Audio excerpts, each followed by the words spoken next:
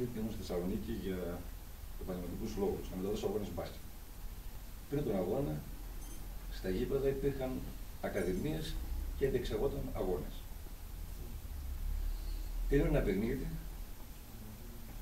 και τα δύο παιχνίδια που τα είδαν έβαλαν σε σχέση τους Μία μητέρα έπαιρνε το παιδί της να το μεταφέρει με το αυτοκίνητό της στο σπίτι.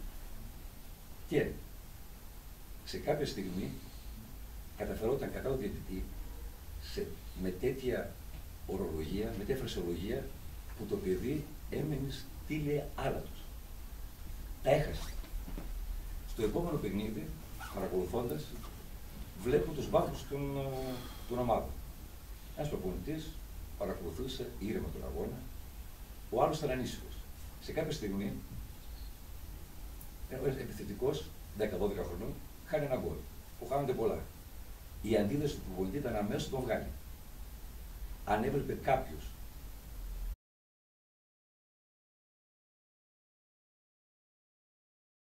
άσχημα. Σημασία δεν έχει το αν κέρδισε ή έχασε. Σημασία έχει η συμμετοχή. Άρα λοιπόν, στο ποδόσφαιρο υπάρχουν νικητές, υπάρχουν επιτεμένοι, το γνωρίζουμε όλοι. Έχει σημασία ο αγώνας. Τώρα, αυτά τα δύο, αυτές δύο, τα δύο περιστατικά με έβαλαν σκέψη προβληματισμούς. Μετά από λίγες μέρες, με παίρνει τηλέφωνο ο Αντώνη και μου ζητάει να κάνω παρουσίαση αυτού του βιβλίου. Δέχτηκα αμέσως. Διαβάζοντάς το, όλο το βιβλίο, σε μερικά σημεία πραγματικά ήταν αυτά που, που με έκαναν να αντιδράσω στις δύο περιπτώσεις. Τη μητέρα με το παιδί μετά τον αγώνα και στους ε, προπονητές που έκαναν αυτές τις κινήσεις.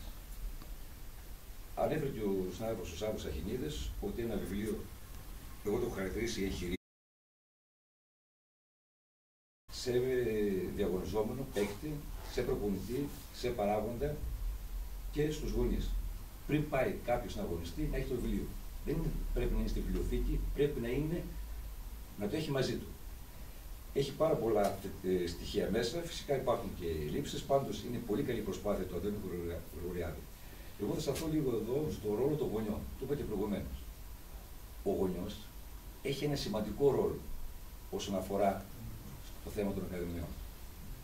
Λέει εδώ ο Αντώνης ο ότι σήμερα η παρουσία των γονιών δραστηριότητα ενός σωματείου περιορίζεται όλο και περισσότερο. Σε ορισμένες περιοχές μάλιστα είναι ανύπαρκτη. Γίνεται και αυτό. Υπάρχει όμως και ένα άλλο θέμα όπου οι γονείς υπερβαίνονται καμένα. δηλαδή συμμετέχουν στις διοικήσεις και υπάρχει ένα πρόβλημα. Στη διοίκηση, αν υπάρχει ο γονιός, επηρεάζει άμεσα τον προπονητή. Καλό είναι οι γονείς που αγαπούν τα παιδιά τα θέλουν να πάνε, να παίξουν είτε ποδόσφαιρο, είτε μπάσκετ, είτε χάντμπολ, οτιδήποτε άθλημα, αλλά καλό είναι να είναι απ' έξω από τη διοίκηση. Επηρεάζει αρνητικά το παιδί. Και επηρεάζει αρνητικά το παιδί και τους προπονητές, γιατί κάποια στιγμή να παταγούν απλά πράγματα. Όταν δεν παίζει το παιδί του, θεωρεί ότι ο προπονητής δεν είναι καλός. Το παιδί, όλα τα παιδιά είναι καλά, έτσι, αλλήμον, όλοι οι καλοί είναι παίκτε, αλλά ο προπονητής να είναι ανυπηρέαστος. Και φυσικά, όπως λέει εδώ, η συμπεριφορά του πρέπει να είναι υποδειγματική, καθώς από τη στιγμή που συνοδεύουν τα παιδιά αντιπροσωπεύουν το σωματείο. Λέγαμε το παράδειγμα που ανέφερε προηγουμένως.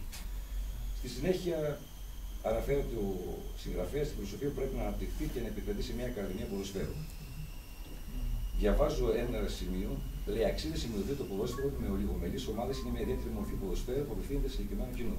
Γι' αυτό δεν πρέπει να αντιλαμβανόμαστε το ποδόσφαιρο των παιδιών όπως τον ενηλίκων. Άρα υπάρχει μια διαφορά το ποδόσφαιρο, οι, οι ακαδημίες από το ποδόσφαιρο που παίζουν επαγγελματικά.